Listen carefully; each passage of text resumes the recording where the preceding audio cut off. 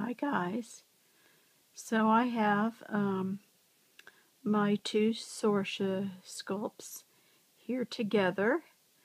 Um, this isn't a comparison video. This is more kind of just, I don't know, showing them together. Um, of course, in the back there is Sophie, who was my first one. And she's looking at her sister, Shelby. And she's wondering, wow, what in the world is that baby doing here? She looks like me, only she's way more fancy and foo-foo. so anyway, here they are. Um, I uh, have Sophie in uh, blue clothes because compared to compared to Shelby, bless her little heart, she kind of looks like a boy now. I don't know if I should even make her a boy.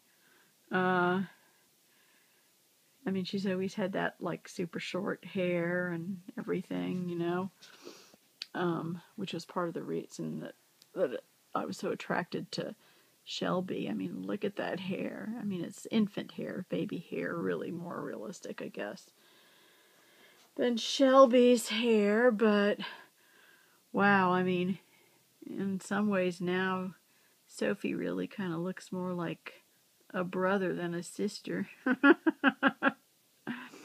Anyways, uh, I don't know if anybody has any opinions on that. I'd be interested in hearing them.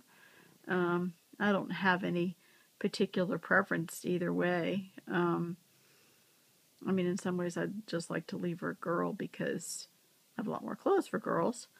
Um, but in some ways, maybe it'd be kind of cool to have them be brother and sister. I don't know. I don't know. Anyway, just something to think about. So, Shelby, do you want to say goodbye? Night night? Night night?